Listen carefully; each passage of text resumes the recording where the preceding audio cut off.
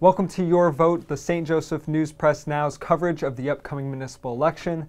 I'm Quinn Ritzdorf, the local government reporter, and we are continuing our Q&A series, this time with the District 4 candidates, and with us is Mike Grimm. Mike, thanks for doing this. Thank you for having me. We'll jump right into the questions.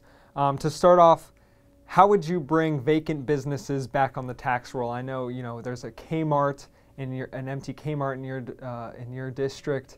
Um, there's a number of you know vacant properties along the Oh, South absolutely. Belt. So how, Absolutely. how would you bring those vacant you know properties back on the tax roll? I think one of the big things is uh, another one is the Belt Supermarket at Belton Mitchell. Uh, it's been empty so many years and it's deteriorated so much.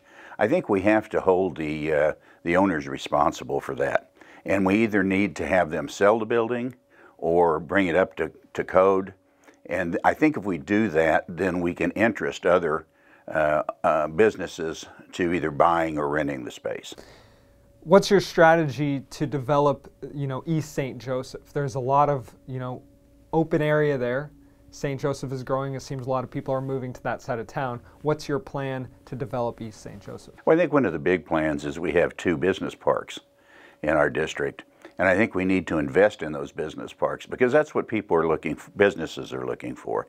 When they come to St. Joe, they want property, they want uh, buildings, and I think we're in a position where we can offer them what they need. And as businesses develop, so will housing.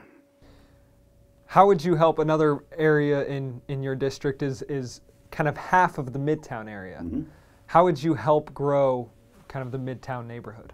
I think one of the big things in Midtown is we need to uh, have a strong effort in the appearance of St. Joe. We certainly need, there's some great things happening right now at the grassroots level, but I think the uh, City Council needs to take the lead in developing programs and, and funding.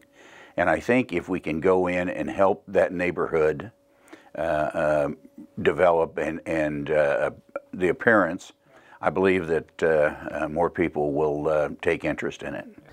Another part, another area in your district is Pear Street, and of course, um, you know, it, it- it's probably 10 months ago now that that family died on Pear Street. Right. Um, there's whenever it rains, that ditch overflows.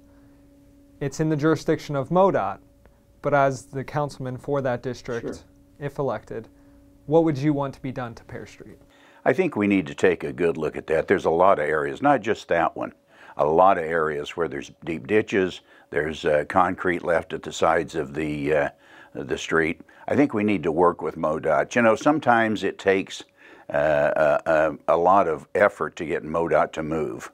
And uh, I believe, though, if, if we take interest in it, if I can make the council interested in it and lead them, I think we can go to MoDOT and get something done. Your your counterpart, Russell Moore, has, was a firefighter for multiple years. Um, what's your plan, and how would you help improve public safety departments in town? Sure. I think I think in this election we've gone two we've combined two questions into one. One of them is is the police uh, salaries and benefit package. I think we're there. I think we're competitive. The other side is retention of officers and getting new officers. Now we don't have any more turnover than any other city. Um, we're down 20 officers. Kansas City's down 200. So what we what we need to do is maybe change our marketing strategy um, and maybe hire somebody in marketing that can help us get new officers. I think the officers we have, we certainly need to support them financially, physically, emotionally. Um, we need to give them the leadership that they need and and the equipment to do their job. What steps would you, you mentioned the, the business parks in your district? What steps would you take to entice companies to come to St. Joe?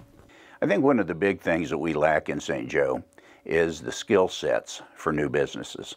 So I think we have to work with Hillyard's, we have to work with the college, we have to work with uh, uh, maybe maybe a new uh, uh, profit nonprofit organization to teach those skill sets. One of the problems is we teach kids, but we don't teach adults. And one of the best ways to move people out of poverty is to educate them. The council has, uh, you know, $19 million, the second installment of American Rescue Plan Act funds coming in. $19 million, it's a lot of money. How would you spend it? I would like to go back and form another committee and let them pick the, the places they would like to spend it. Now, some of it I think we should use for, for infrastructure if we can.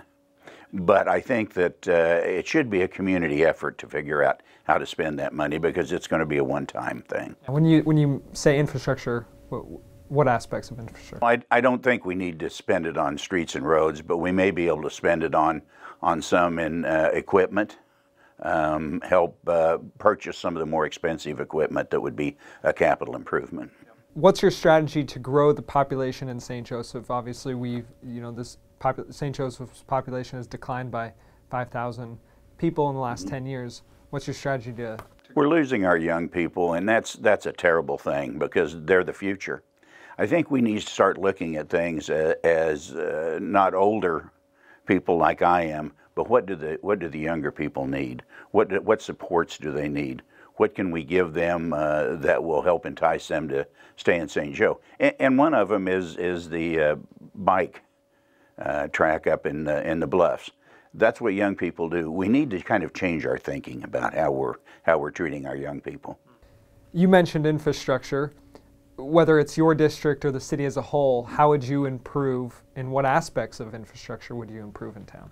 I think we need to look at uh, some of the things that maybe we're not doing. We need to look certainly at at sidewalks uh, um, along the schools, the, uh, and that's one where um, I, I, believe that we need to get the St. Joe School District involved and, and pay part of that cost.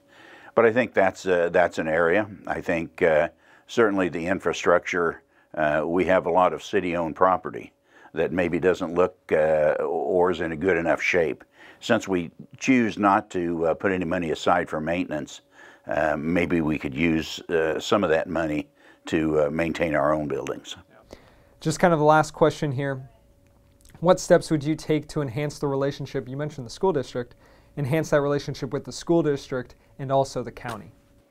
Sure, I think I think uh, of course the the county plays a huge role in what we do, but I think uh, one of the things the city council hasn't done over the years um, is go to this uh, to the school district and say, "Here's what we expect of you."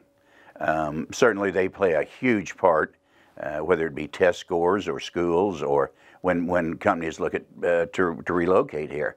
I think it's time for the city council to sit down and figure out what they need from the school district and then go meet with them and, and certainly tell them what we expect of them. That's kind of all the questions I had. Is there anything else you wanted to add? Not a thing.